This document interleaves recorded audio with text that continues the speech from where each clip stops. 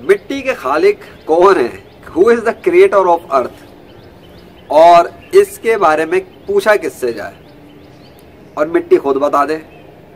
दुनिया के इंसानों से भी ना पूछा जाए।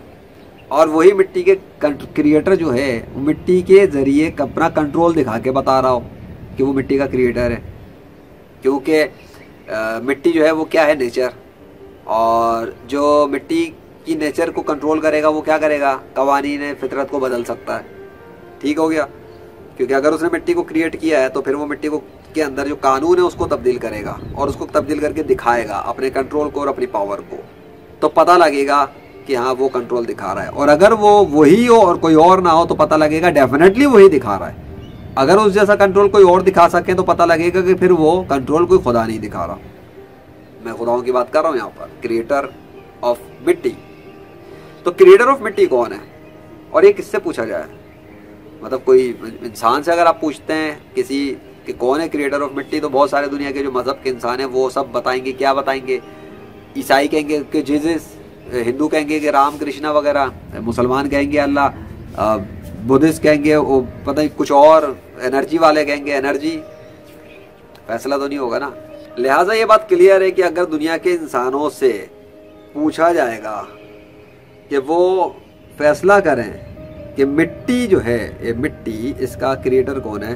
तो दुनिया के इंसान उसको फैसला करने में नाकाम अगर हो जाएँगे अगर वो किताबों की तरह किता, किताबों की तरफ़ जाते हैं क्योंकि वो किताबों को खोलेंगे और कहेंगे जी किताब के रेफरेंस में पढ़ो किताब में पढ़ो किताब में पढ़ो। तो वो किस किसी इंसान ने लिख दी किताब?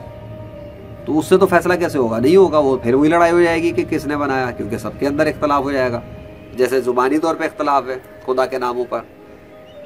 तो अब मिट्टी का क्रिएटर मिट्टी से क्या कर रहा है? मैं आपको बता देता हूँ। मिट्टी का जो क्रिएटर है, उसने इसी मिट्टी से इंसान को बनाया।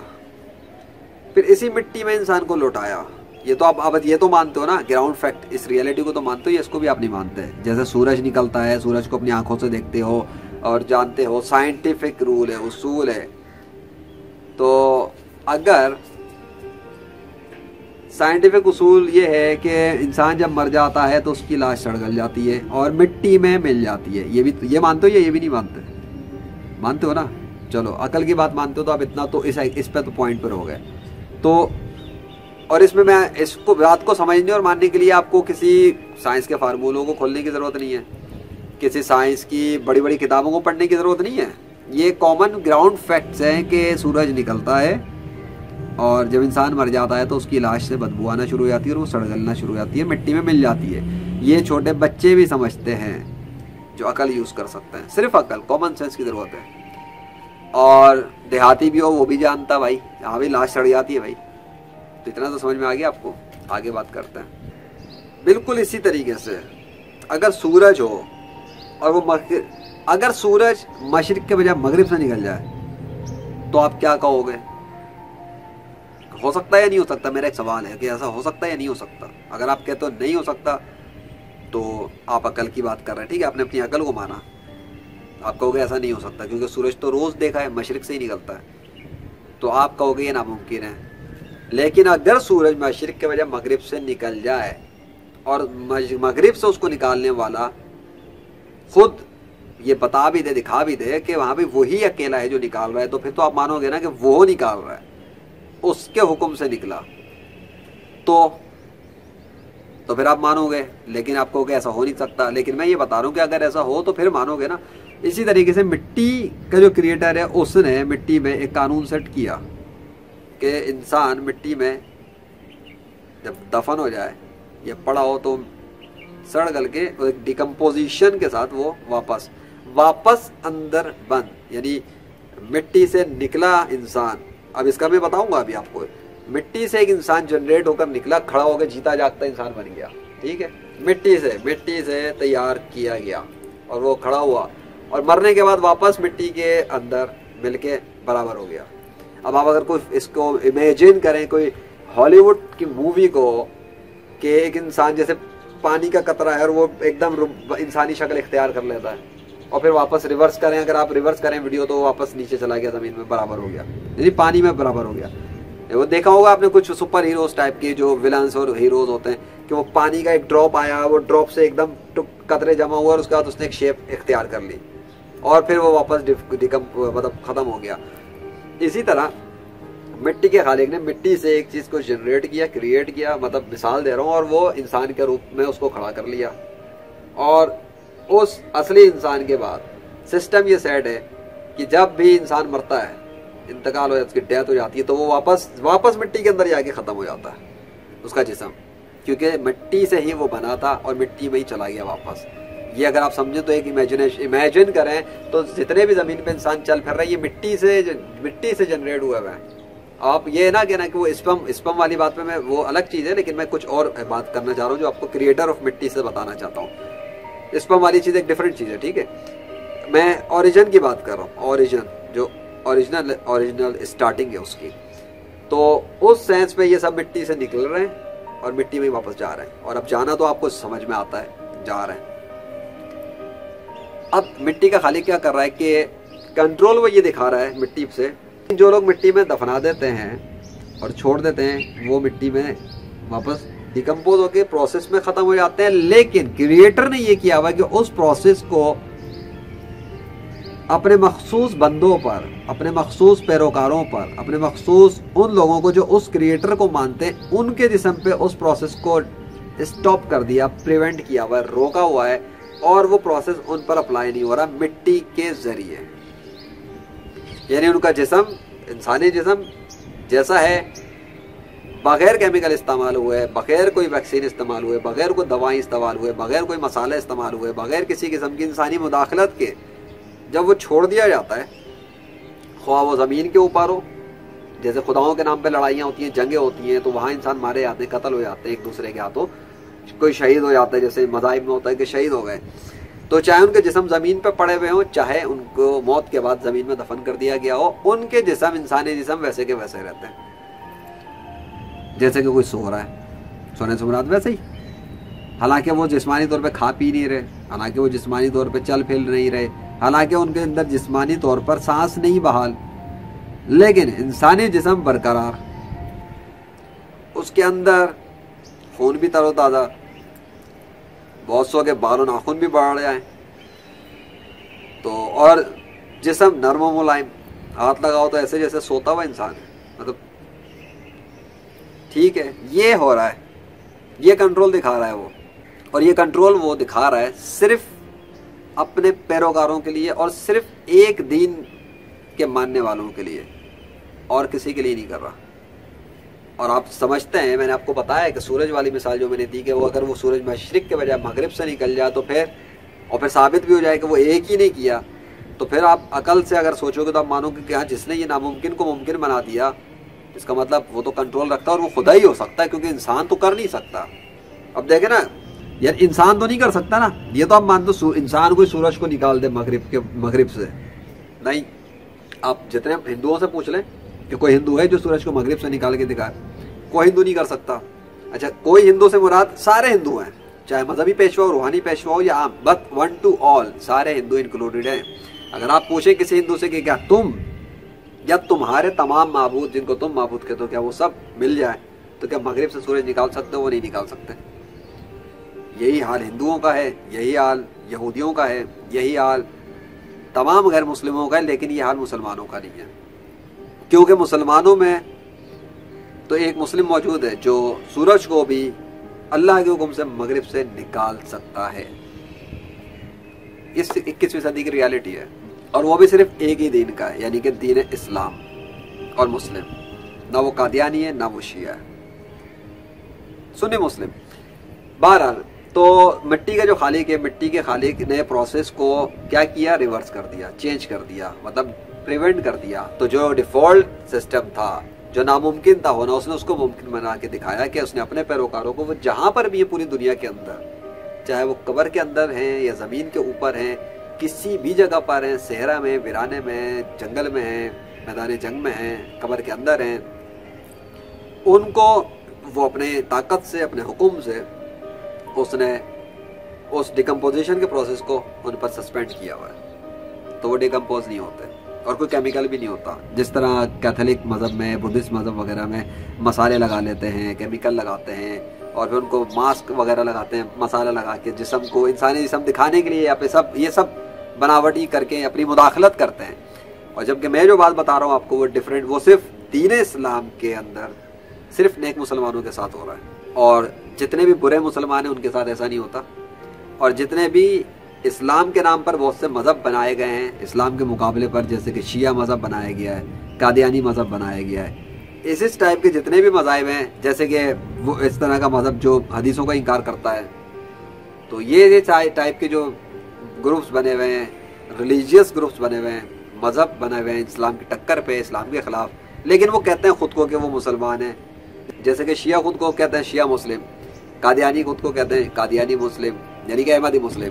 तो ये इस तरह कहने से मुस्लिम नहीं हुआ है, बल्कि वो जो क्रिएटर ऑफ़ मिट्टी है, उसने मिट्टी को हुक्म दिया हुआ है। और सेम सिचुएशन जिस तरह बुरे मुसलमानों के साथ होता है, इसी तरह कादियानी शिया के साथ भी होता है, और इसी तरह तमाम गैर मुस्लिमों के साथ भी हो रहा है। कि अब मिट्टी का क्रिएटर उनके जिस्मों को सड़ने गलने दे रहा है। यानी कि मिट्टी सड़ा रही है, एक डिफ़ॉल्ट सिस्टम है।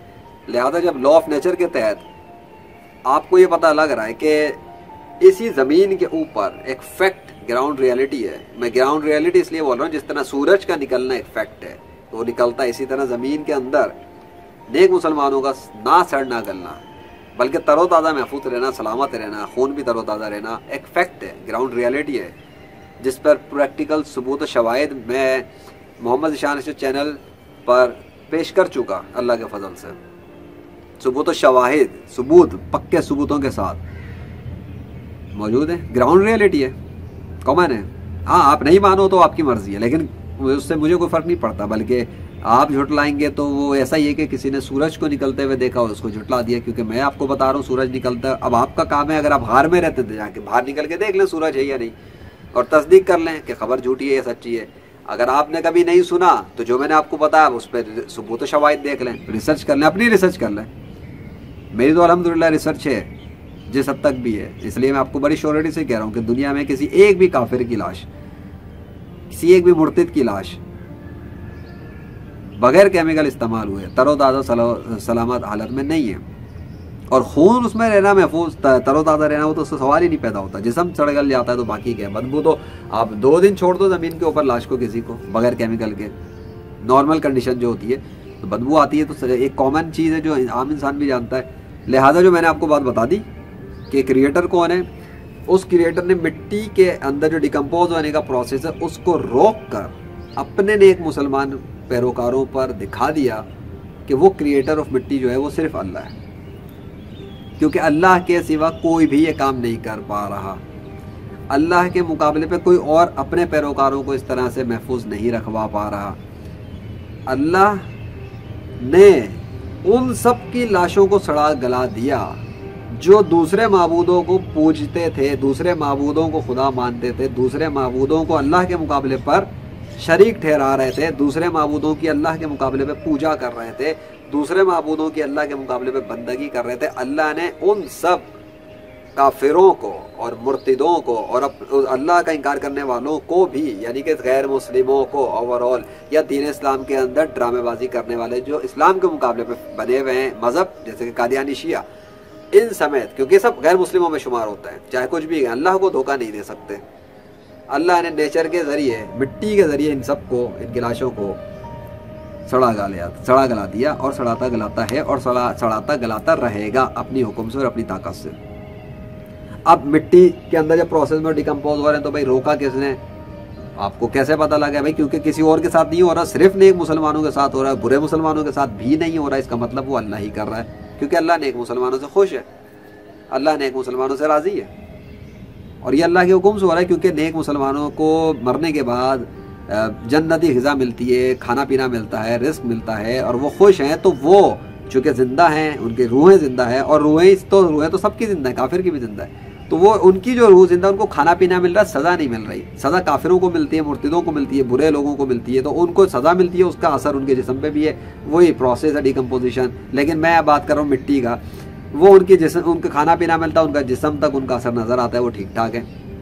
यानी आपको इंसानी आँख से नज़र नहीं आ रहा, खा पी रहे हैं। लेकिन जिस तरह एक अस्पताल में मरीज़ को लिटा दिया जाए, कोमे का मरीज़, और उसको इंसान अपने इल्म के मुताबिक वसाइल जराए से गजा फराम करता है, जो नज़र नहीं आ रहा होता कि वो ज़ाहरी तौर पर बुखार है, लेकिन जो गजा उसको मुंतकिल हो रही होती है, उसकी वजह से उसकी बॉडी सलामत ही रहती है ना, खून भी होता है होता है ना ऐसा, बाल नाखून भी बढ़ रहे हैं, सब हो रहा है, क्योंकि वो ज़िंदा है। कोई उसे लेटा हुआ देख के नहीं कह सकता, अगर कहेगा ये मुर्दा है, नहीं, डॉक्टर कहेगा, वो मुर्दा नहीं है, ज़िंदा है, पर तुम्हें शोर नहीं है। डॉक्टर के अपने इलम से बात कर रहा है। इसी तरह ये जो डिकम्पोजिशन प्रोसेस क्यों नहीं हो रहा क्योंकि अल्लाह ने क्लेम कर दिया था, बता दिया था कुरान के अंदर कि जो अल्लाह की राह में मर जाते हैं या अल्लाह की राह में कत्ल हो जाते हैं, उन्हें मुर्दा मत कहो वो ज़िंदा है, पर तुम्हें शोर नहीं। किसको शोर नहीं? दुनिया के काफिरों को शोर नहीं। या फिर उन जाहिलों को शोर नहीं जो एतराज़ करते हैं और कहते हैं कि ये मुर्दे हैं। हालाँकि वो अल्लाह ने क्लेम किया कि मुर्दा नहीं है और प्रैक्टिकल जो मैंने आपको बता, बात बताई, ये प्रैक्टिकल है। जो ग्राउंड रियलिटी हो रही है, इसलिए हो रही है क्योंकि अल्लाह ने दावा किया हुआ है। और वो उस दावे को प्रैक्टिकल तौर पे सर अंजाम दे रहा है, अपनी ताकत से। और मैं आपको अल्लाह के फजल से, मुस्लिम मैन यहाँ पे एक्सप्लेन कर रहा है अल्लाह के फजल से। अच्छा अब बात होती है इसके हवाले से कि ये जो मैंने वाला जो पॉइंट था, ये स्पम वाला और मिट्टी वाला, इसको मैं एक्सप्लेन करूँ आपको क्या इसका लिंक क्या है। अब तो आपके सामने मैंने बता दिया मिट्टी का क्रिएटर कौन है। तो अब आगे मैं बात कर सकता हूँ। मैंने नेचर के ज़रिए पहले नेचर की रोशनी में इस चीज़ को एक्सप्लेन कर दिया क्रिएटर तो सिर्फ़ अल्लाह है ठीक है? अब आप अपनी कितनी रिसर्च करते हैं वो आपकी मर्ज़ी। अच्छा पॉइंट ये है मिट्टी से ओरिजन और जनरेट सबसे इन पहला इंसान इंसान की इब्तदा कहीं तो जाके हुई है ना? अगर आप एक सोचेंगे कि, कि, कि मर्द पहले बना था या औरत पहले बनी थी तो अगर आप इसकी जिग करते हुए पीछे जाएँगे तो ये मुर्गी और अंडे वाला सवाल बन जाएगा। अब मुर्गी अंडे वाला के पहले मुर्गी बनी थी या पहले अंडा बना था, आप घूमते जाएँ तो इन्फिनिट घूमते जाएँगे। इसी तरह आप पहले मर्द बना था या पहले औरत बनी थी, अब आप घुमाएँ इसको। ये वही लूप बन जाएगा जिस तरह लोग चलते हैं कि अगर इसको किसी ने बनाया तो उसको किसी ने बनाया तो उसको किसने किसने करते हुए वो एक पॉइंट पे आते हैं जहाँ पे वो काफिर हो जाते हैं। और वो होना भी चाहिए क्योंकि वो नहीं समझ रहे उस चीज़ को जो उनका माइंड एक्सेप्ट नहीं कर पा रहा। बहरहाल तो वापस आते हैं इसी पर इन्फिनिट लूप मर्द, औरत मर्द, औरत। अब इसकी ओरिजिन क्या है भाई? इसकी स्टार्टिंग क्या है? स्टार्टिंग ये है कि जब तक आप इसकी स्टार्टिंग क्रिएटर से नहीं सुनेंगे, इस क्रिएटर ही बताएगा स्टार्टिंग हुई क्या थी। क्योंकि आप अपनी आँखों से देख रहे हैं, शादी होती है स्पम के ज़रिए इंसान बन जाता है। माँ के पेट में तो जाता है ना, एक पेट में होता है, उसके अंदर वो तकलीफ़ हो रहा है। अब अगर कोई के फिर मिट्टी से बनना कैसे हो गया भाई? हम आँखों से तो ये दिख रहा है कि वो स्पम से आ रहा है। और स्पम कहाँ से जा रहा है? एक मर्द से, औरत में जा रहा है। अब मर्द में से एक औरत में स्पम चला जाता है और वो जाके जनरेट होता है। अब ये जो मर्द में से स्पम आ रहा है तो वो तो एक औरत के पेट में गया, औरत से बच्चा निकल गया। तो भाई अगर औरत से बच्चा निकला तो पहले औरत बनी होगी ना, ठीक है? तो आप औरत को पहले कर लें। ठीक है अगर आप फ़र्ज़ कर लें, पहली पहली और, पहले इस कान, इस ज़मीन में पहला जो, पहली जो हस्ती थी, वो एक औरत थी। इस कायनात में आप, अगर आप मानते हैं कि भाई जो पहली मखलूक थी इंसानों में, वो औरत थी। अब औरत के पेट से कोई बना होगा तो बाकी इंसान तखलीक होंगे ना, बहुत सारे ज़मीन पे बन गए, इतने सारे आज ही इतने सारे नज़र आ रहे हैं। लेकिन अगर औरत पहले है तो औरत के साथ शादी किसने की थी? शादी भी तो चाहिए ना मतलब औरत से कैसे इंसान के, औलाद कैसे आ जाएगी वगैरह सब के? तो उसके लिए एक मर्द का होना ज़रूरी है। हो गया? अब अगर मर्द का होना ज़रूरी है और तो इसका मतलब पहले मर्द बना ना, ठीक है तो आप औरत को हटाएँगे अब आप कहेंगे पहले मर्द बना था अच्छा पहले मर्द बना था तो तो फिर अब आप साबित कैसे करेंगे? कि भाई पहले मर्द बनाता तो फिर औरत कहाँ से आ गई? है? अगर पहले मर्द था तो औरत कहाँ से आ गई? और औरत तो होगी नहीं ना, अब आप फ़र्ज़ कर ले भाई, मर्द है। इसका मतलब औरत नहीं थी तो फिर बच्चे कहाँ से आ गए? और फिर ये इंसान कहाँ से आ गए इतने सारे? कुछ बात समझ में आ रही है जो मैं कर रहा हूँ? तो वो जो लूप है, ये लूप इसलिए जा रहा है क्योंकि लूप इंसान अपने दिमाग से सब चला रहा है। तो क्रिएटर बताएगा असल में इसका फलसफा क्या है हुआ क्या है? तो मैंने आपको जब बता दिया कि क्रिएटर मिट्टी का अल्लाह है तो इसलिए मैं आपको आगे इसकी गुत्थी सुलझाने की कोशिश कर रहा हूँ। सबसे पहले उसने मिट्टी से मिट्टी से जो मैंने बताया ना हॉलीवुड फ़िल्म है आपको कि एक एक, इंसान जनरेट हो गया क्रिएट खड़ा हो गया ना? और फिर वापस डिकम्पोज होकर ज़मीन में चला गया। तो मिट्टी से अल्लाह ने आदम अलैहिस्सलाम को तैयार किया। समझ में आई मेरी बात कुछ? सबसे पहले इंसान हज़रत आदम अलैहिस्सलाम और उनको तख्लीक किया मिट्टी से अल्लाह ने। और उसके बाद उनके अंदर फूक दी अपनी रूह। और फिर फरिश्तों को गुम दिया, सजदा करो। आपको यही मिलेगा कुरान में? ऐसा ही है ना डिटेल ऐसा ही वाक्यात है ना? अब जब पहला इंसान बना दिया मिट्टी से, वो जनरेशन हुई थी मिट्टी के अंदर से तो ओरिजिन आ गया आपके सामने मिट्टी का, कि मिट्टी से जनरेट हुआ एक इंसान। तो ओरिजिन मिट्टी थी और मिट्टी में ही अब आदम सलाम से लेके आज तक और क़्यामत तक जो भी पैदा हो रहा है इंसान, वो जब मरता है, जब आप छोड़े तो नेचुरल वो वापस अपनी अपनी ओरिजिन में जाता है। और फिर इसी ओरिजिन से फिर निकाला जाएगा क़्यामत के दिन, जब अल्लाह के हुक्म होगा और सब के सब वापस जनरेट होकर खड़े हो जाएँगे अपनी ज़मीन के अंदर से निकलते हुए मुर्दे। समझ लें आप फिर से प्रोसेस वही प्रोसेस फिर, अब वो वाला सेम तो नहीं, आदम सलाम की बात नहीं कर रहा, लेकिन तमाम इंसान फिर से जनरेट होंगे। आप अज्यूम करें इमेजिन करें, फिल्मी सीन हो रहा है क्यामत, एक एक एक मंजर है कि दो सारे कब्रों के अंदर से सब मिट्टियाँ जुड़ रही हैं हड्डियाँ जुड़ी कड़ कड़ कड़ कड़ कड़ कड़ के इंसान जनरेट होकर खड़े हो गए। समझ में आ रहा है? फिल्मी सीन लग रहा है? बहरहाल तो आदम सलाम को सबसे पहले बनाया गया एक इंसान को, फिर उस मर्द को बनाने के बाद अल्लाह ने उस मर्द की पसली से औरत जनरेट की। उस पसली से, अब आप सोचो कि पसली से औरत कैसे बन सकती है? तो मैं आपको बताऊँ कभी घर में बीज लगाएँ, कभी घर में बीज लगाएँ या फल फ्रूट देखें छोटा सा एक बीज होता है कि क्या होता है, क्या है वो? उसके अंदर से क्या से क्या बन के निकल जाता है? किसी से फल बन रहा है, किसी से सब्ज़ी बन रही है किसी से कुछ बन रहा है, किसी से कुछ बन रहा है हर एक पानी वही है, मिट्टी वही है, बस हल्का सा बीज का डिफरेंस है या कुछ है, बस। और उसी एक मिट्टी और पानी के साथ वो लो अलग अलग किस्म के फल और अलग अलग किस्म की अजीब अजीब चीज़ें। इसलिए आपकी अगर अकल में नहीं आ रहा है कि वो पसली की हड्डी से औरत कैसे तैयार हो गई? तो जो मिट्टी से एकदम तैयार करके इंसान खड़ा कर सकता है, वो पसली के ज़रिए एक औरत को भी जनरेट कर सकता है। क्लियर हो गया? चाहे आपकी अकल में ना आए, लेकिन जो बात कर आप इसको समझ रहे होंगे मैं क्या कहना चाह रहा हूँ। औरत बना दी पसली से, औरत जब बन गई तो फिर शादी हो गई। अब शादी के बाद हुई औलाद, जो हाबिल काबिल का किस्सा दीन इस्लाम में बताया जाता है कि किस तरह वो जोड़ों में पैदाइश होती थी, फिर उनकी शादी का एक सिस्टम था। वहाँ से जनरेशन हुई। लेकिन पहली स्टार्टिंग आदम अलैहिस्सलाम को मिट्टी से ओरिजिन और फिर पसली से उनकी अहुआ अलैहिस्सलाम और फिर इन दो की शादी शादी मतलब मियाँ बीवी तो है ना? और तमाम इंसानों के माँ बाप हैं वो। और मेरे भी हैं और आपके भी हैं। तमाम इंसानों, तमाम इंसान हज़रत आदम आदम और हु की औलाद हैं। पढ़ा होगा ना आपने? आज आपको इस समझ में आ रहा होगा।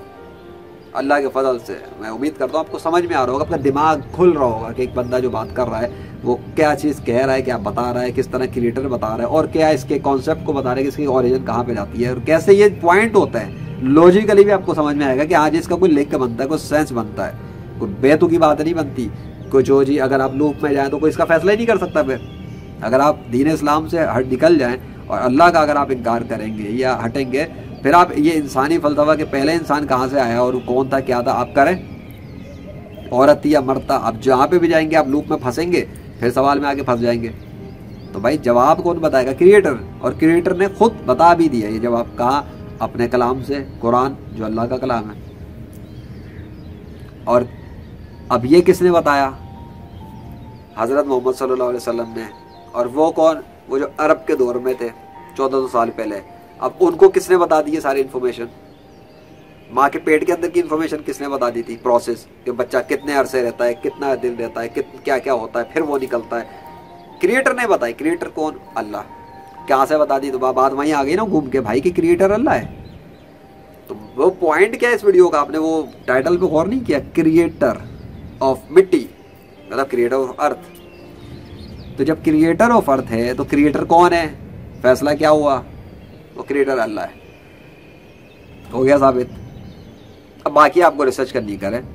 जो आपने तफसील देखनी देखें। मैं तो इसलिए आपको ये बात कह रहा हूँ, क्योंकि मुझे तो पूरा हक है सबको कहने का, अल्लाह के वजूद के हवाले से। हज़रत मोहम्मद वसल्लम को आखिरी नबी कहने के हवाले से, क्योंकि अल्लाह के फजल से बतौर मुस्लिम मैन ने ये साबित कर दिया। हमेशा के लिए साबित कर दिया। सबूतों से साबित कर दिया। प्रैक्टिकल सबूतों से साबित कर दिया। नेचर से साबित कर दिया कि अल्लाह इस कायनात का खालिक है, सच्चा खुदा है।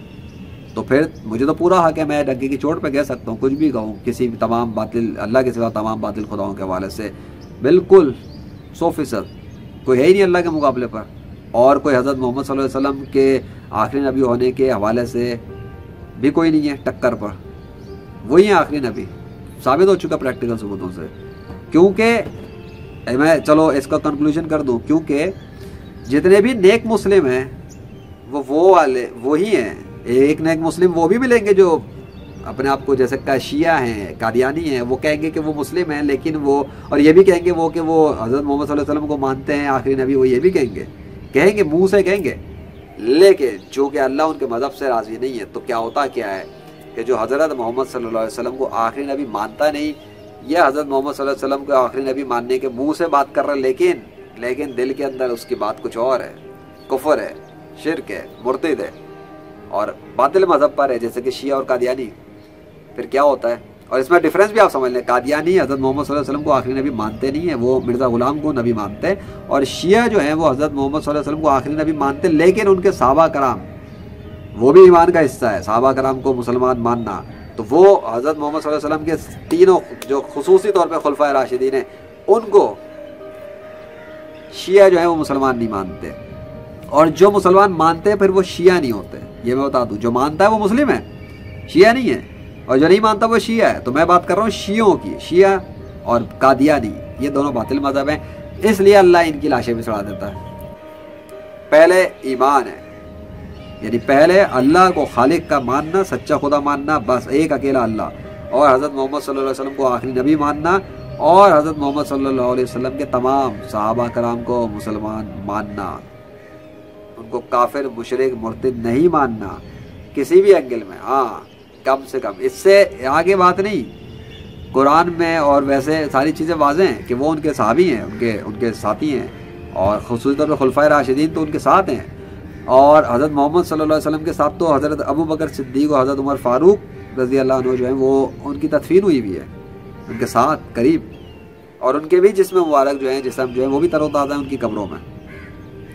तो बहरहाल तो जो बात हो रही थी वो यही थी कि जो लाशों के हवाले से जो मैं पॉइंट कर रहा था तो कंक्लूजन आप समझ लें इस बात का, कि वो जो क्रिएटर है खालिक, उसने जिनकी लाशों को महफूज रखा वो सिर्फ़ नेक मुस्लिम है, और उसने नेक मुसलमानों की लाशों से ये फैसला कर दिया और दुनिया वालों इंसानों के लिए फैसला करवा दिया, और मैंने आपको अल्लाह के बदल से एक्सप्लेन कर दिया। तो अब जो भी इंसान अपनी अकल को इस्तेमाल करेगा, सिर्फ़ अकल और कॉमन सेंस की ज़रूरत है। आपको किसी बड़ी बड़ी साइंस की किताबों को खोलने की ज़रूरत भी नहीं है। बड़ी बड़ी थ्योरियाँ पढ़ने की ज़रूरत नहीं है, साइंस के फार्मूले पढ़ने की ज़रूरत नहीं है। जिस तरह सूरज निकलता है सुबह, बस आपको देखने की ज़रूरत है और उसे एक्सेप्ट करने की ज़रूरत है कि जी सूरज निकलता है, वाकई निकलता है और ख़बर सच्ची थी। आप घर से निकले और देख लें। अगर आपने कभी नहीं सुना था तो अब अब सुन लिया आपने। अगर आपने कभी सुना था, लेकिन आपको यकीन नहीं था, या रिसर्च नहीं थी तो आप कर लें। क्योंकि मैं तो आपको बता रहा हूँ। इस पूरी रोए ज़मीन के ऊपर, इस पूरी रोए ज़मीन पर एक भी काफिर ऐसा नहीं है जो मुझे चैलेंज कर सके किसी भी अदालत में और नेक मुसलमानों की लाशों का तरोताज़ा होने के हवाले से उनको गलत साबित कर सके, अपने सबूतों को लाकर। कोई भी एक काफिर भी ऐसा नहीं कर सकता कभी भी प्रैक्टिकल तौर पर। ये चैलेंज है मुस्लिम मैन ऑफ़ इस्लाम का, अल्लाह के फजल से। इसलिए बता रहा हूँ कि जो बात मैंने बताई क्रिएटर ऑफ़ मिट्टी क्रिएटर ये कोई आम मामूली बात नहीं है, ये अल्लाह का फ़ज़ल है। उसी के फजल से मैंने ये आज एक्सप्लेन किया है, जो भी बात कही है कुछ। और आप अगर मुस्लिम हैं तो बहुत वेलकम आपको खुलेगा इन दिमाग खुला होगा। अगर आप गैर मुस्लिम हैं तो भाई कलमा पढ़े और दीन इस्लाम में आ जाए, ताकि आप भी अपने आप को मौत के बाद बचा सकें डिकम्पोज होने से।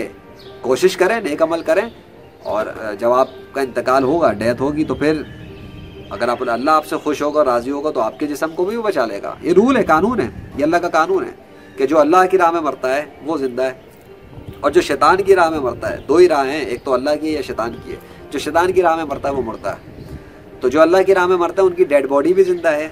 और जो शैतान की राह में मरता है, उनकी डेड बॉडी मुर्दा है। और मुर्दा और ज़िंदा डेड बॉडी का डिफरेंस क्या है? जो मैंने आपको बता दिया कि वो डिकम्पोजिशन प्रोसेस डिफ़ॉल्ट है लॉ ऑफ़ नेचर है, लेकिन अल्लाह ने उसको कंट्रोल से, अपने कंट्रोल से, अपनी पावर से, अपनी ताकत से नेक मुसलमानों पर अप्लाई नहीं होने दिया, उन पर नहीं किया, यानी कि उसको बदल दिया। तो जिसने बदला, वो क्रिएटर हुआ, क्योंकि बदला उसने। और किसी और ने, चूँकि नहीं बदला अल्लाह के सिवा, इसलिए अल्लाह के सिवा कोई और खुदा नहीं है। और यही है इस वीडियो का अख्ताम इसके साथ ही मुझे इजाज़त दें, अपना ख्याल रखना। मैं तो निशान अरशद और अल्लाह हाफि